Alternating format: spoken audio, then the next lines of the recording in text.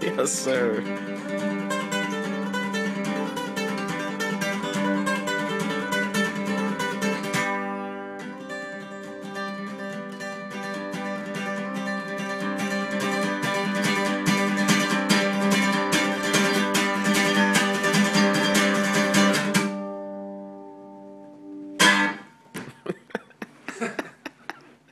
Mr. Jesse Asley. Jesse Isley from Jersey.